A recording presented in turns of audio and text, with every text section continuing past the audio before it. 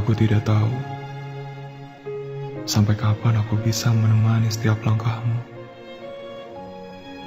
Aku tidak yakin apakah esok, lusa ataupun detik berikutnya aku masih bisa menikmati senyum yang tak pernah berubah itu.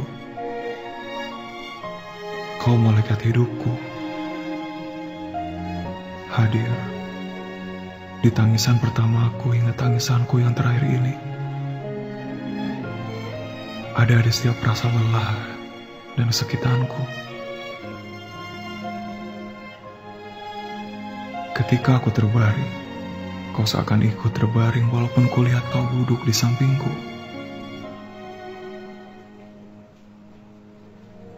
Kau seolah mengambil rasa sakitku dengan baik. Senyum pahit yang ku keluarkan karena sakit, kau balas dengan senyum yang abadi yang dengan abadi bahwa kau akan selalu menemaniku hingga aku dapat berlari kembali, tertawa kembali. Terima kasih akan selalu ku kenang.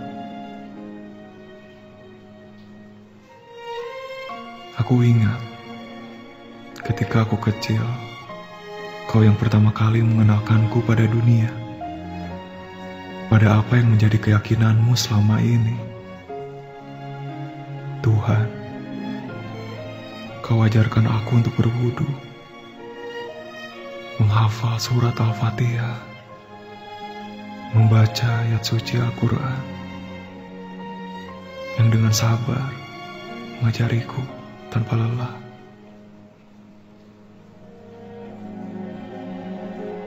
Ruku dan sujudku yang kulakukan sekarang adalah hasil dari kesabaranmu selama ini. Di setiap detik hidupmu, kau selalu menyempatkan untuk mendoakanku. Agar aku kelak menjadi seseorang yang berguna, selalu bahagia, selalu diberikan kesehatan, pandai dalam hal apa pun, dan mendapatkan pendamping yang terbaik untukku dan agamaku. Ibu, khawatiranku satu.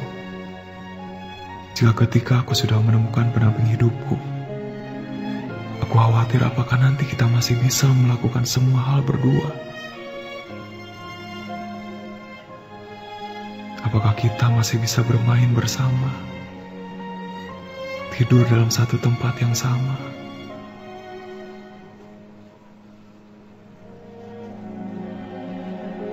Menceritakan hari-hari yang telah aku jalani dalam setiap harinya. Apakah kita bisa berlari-lari di sebuah taman yang indah? Apakah aku masih bisa membelikan jajanan sekolah dan kita menghabiskan yang berdua? Apakah kita masih bisa? Namun yang perlu aku yakini, aku takkan pernah khawatir. Aku akan selalu menyempatkan waktuku untukmu, Ibu. Oleh karena itu, kau jangan khawatir. Panggil aku kapan pun kau mau. Aku akan menemanimu, Ibu.